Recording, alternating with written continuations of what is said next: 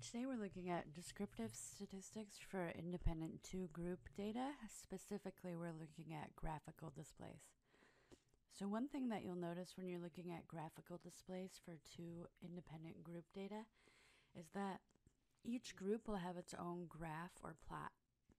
So here you see a side-by-side -side box plot where each of the two groups has its own box plot.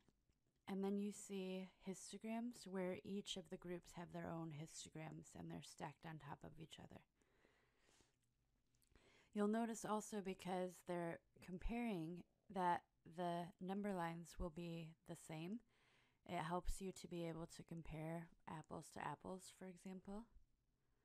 Now, when you're comparing box plots, one thing to consider is how much overlap there is.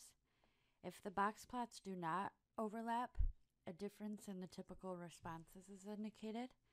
The more overlap that the groups have for their box plots, the less different they are. Also, when comparing box plots, the more different in size the two box plots are, so the actual box of the box plot, the more variability that's indicated between the two groups. So if the box plots are very different in size, it indicates that the variability for the two groups are very different.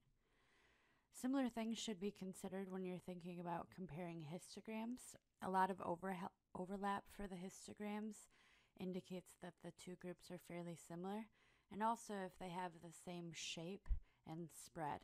So for the histograms that you're looking at here, we can see that they look fairly similar to one another, and so the two groups I would expect to have fairly similar um, typical responses and fairly similar variability.